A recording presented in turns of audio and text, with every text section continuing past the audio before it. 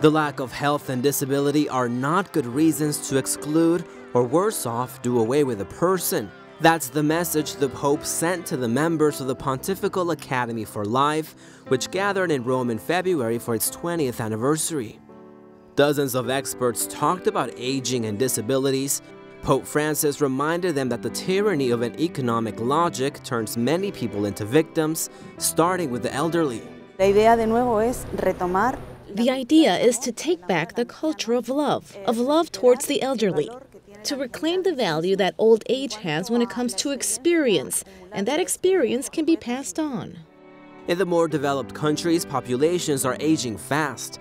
In an effort to tackle the throwaway culture, experts said the key is in engaging, not excluding family members who cannot fend for themselves.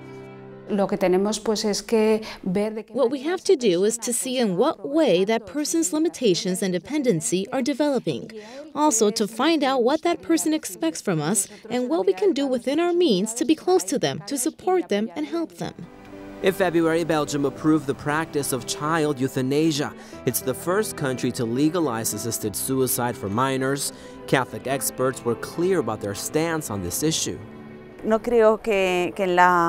Speaking from the experience gained from pediatricians and working with children with terminal illnesses, I don't think you'll find a mother or a father who wouldn't want three more hours of life for their child. This is not resolved with euthanasia. The topic is dealt with with care. The issue is solved with a team made up not just of doctors, but also nurses and psychological and spiritual support from the parents and the child in their last moments. That practice is a way to undervalue the potential of humans and reduce them simply to a physical machine. If something is broken, throw it away.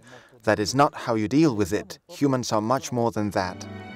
John Paul II established the Pontifical Academy for Life in 1994.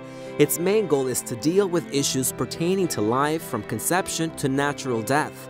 The Academy's first president was Jerome Lejeune, the doctor that discovered the genetic mutation that causes Down syndrome.